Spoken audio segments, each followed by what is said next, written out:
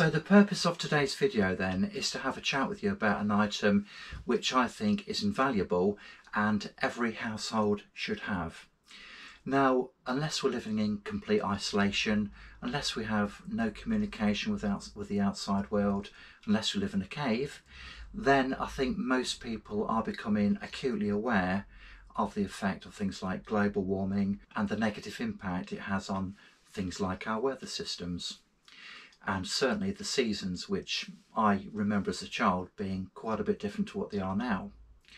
So I live in the UK and in the past few weeks we've had a couple of you know quite big storms uh, to the north of the country now don't get me wrong they haven't been anywhere near as severe as experienced in other parts of the world but nevertheless they have had an impact and it's one which has certainly made me sit up and think so in the north of the country then a couple of storms and one of which was quite severe and basically it took out the power in an entire region and people without electricity, they're without heat, um, they're without most forms of communication because obviously even if you have a mobile you can't charge it up and um, weren't able to have hot foods, hot drinks or to maintain basic standards of hygiene.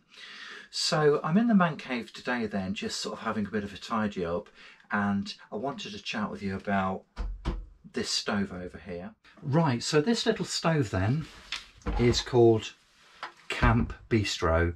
It's made by a company called Campingaz, which is a very reputable brand name. Now, these are very portable, as you can see. They come in a nice little plastic carrying case. They're also very lightweight and they use these canisters here.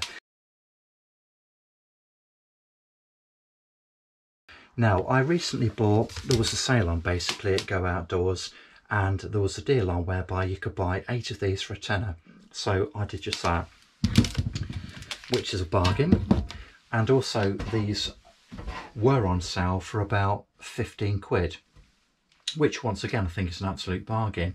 In fact, they were offering a package whereby you could buy one of these and eight of those for 25 quid, which I thought was super. Obviously, if you already have one of these, then at no extra cost, you can just get your uh, the canisters, the gas canisters. But the point about these is the fact that um, they're pretty much bulletproof. There are very few working parts. And, you know, if you can pick one of these up in a sale for about 15 quid, I think you ought to seriously consider buying one. Now,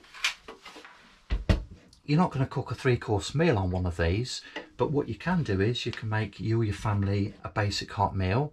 You can make yourself some hot drinks. You could even have two of these if you wanted to. Um, and you know you can boil water. You can use them to heat a room if it's really cold. Although we must obviously be mindful that if you did something like that because you're burning fuel you'll be creating um, noxious gases and you need to make sure there's adequate ventilation.